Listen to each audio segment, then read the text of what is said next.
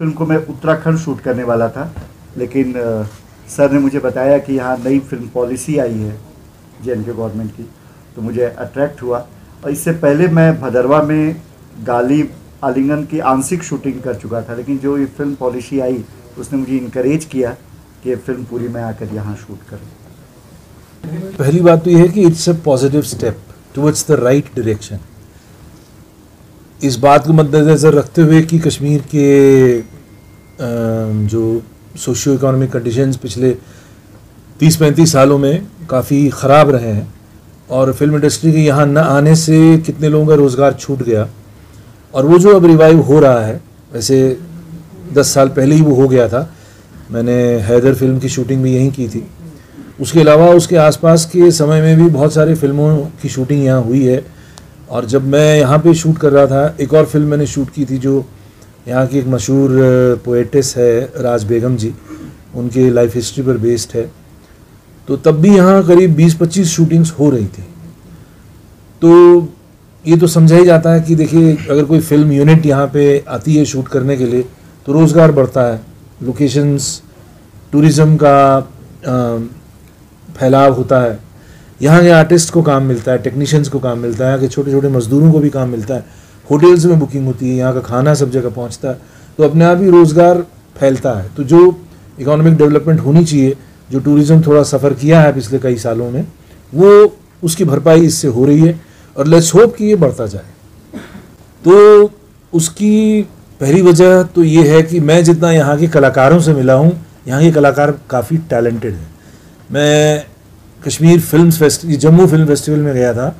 पिछले साल और तब यहाँ टैगोर हॉल में बहुत सारे आर्टिस्टों से मिला। करीब 40-50 लोगों से एक मुलाकात हुई थी।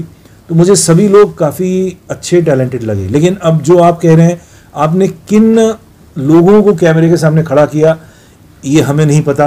अब वो एकदम अनजान आदमी है। तो अनजान आदमी तो चाहे कश्मीर का हो, चाहे कर्नाटक का हो, वो तो घबराए, घबराहट में ही रहेगा।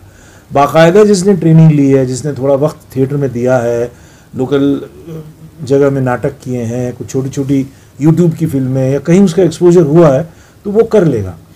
ये तो हुई एक बात। इससे जुड़ी हुई मैं एक और बात कहना चाहता हूँ और आज प्रेस के सामने में ये धीरज मिश्रा की फ़िल्म है, हालाँकि उससे अलग हट के बात है। मैं व्यक्तिगत रूप से टीचिंग करता हूँ बम्बई में भी। धीरज जी जानते हैं, मेरा एक थिएटर ग्रुप है और मैं यूथ को सिखाता भी हूँ। मेरी काफ़ी समय से कोशिश रही है, हालाँकि मेरे पास बहुत अच्छे रिसोर्सेज नहीं है, कि मैं कश्मीर में कश्मीरी कम्युनिटी जो किसी भी वर्ग के हों, उनके लिए ट्रेनिंग का एक छोटा सा इंस्टीट्यूट या एक वर्कशॉप जैसा कुछ करना चाहता हूँ बट मैं अभी तक उसमें ठीक से सफल नहीं हो पा रहा हूँ बट आपकी वजह से अगर ये बात ऐसे लोगों तक पहुँचे जो मेरे साथ कोलैबोरेट कर सकें तो मैं इस काम के लिए तैयार हूँ। चूँकि ये मेरी अपनी मातृभूमि है, मैं बाकायदा जिसे हम मर्ज कशीर कहते हैं, उस सेंटिमेंट को, उस इमोशन को बहुत अच्छे से फील करता हूँ। चूँकि देखिए क्या है, कशीर या कशीर मर्ज जो है वो किसी एक की तो नहीं है। यहाँ पे जो भी लोग रहे हैं, हिंदू, मुस्लिम, सिख, ईसाई, क्रिश्चियन या बौद्ध या लद्दाखी, सब लोग कनेक्टेड हैं कश्मीर से।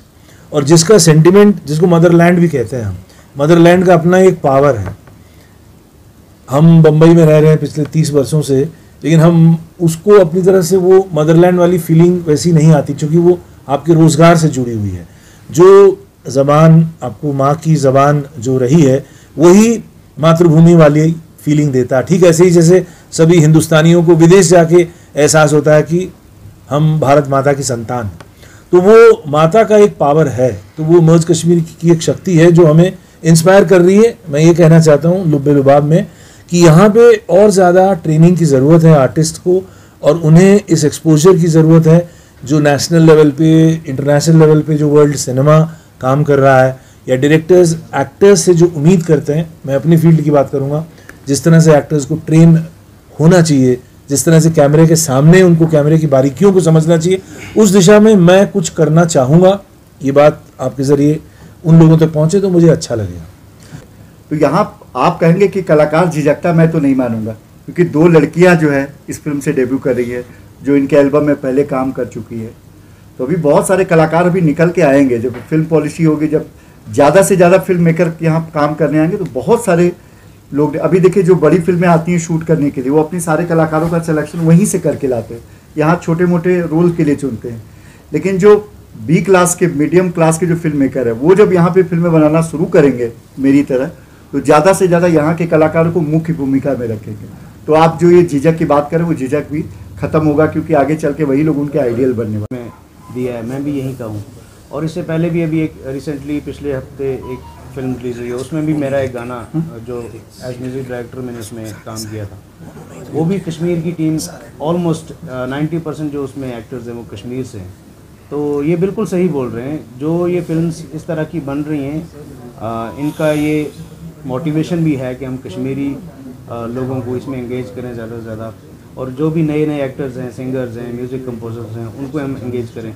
करने को अगर ये चाहें तो बॉम्बे से कहीं से भी एक्टर्स बुला सकते हैं। बट वही बात है कि दोनों तरफ़ से एक, कहते हैं कि ताली दोनों हाथ से बजती है। इनके पास ये मोटिवेशन है कि हम हम कश्मीर में शूट करें और कश्मीरी यूथ्स को एंगेज करने से इनको भी हेल्प मिल जाएगी।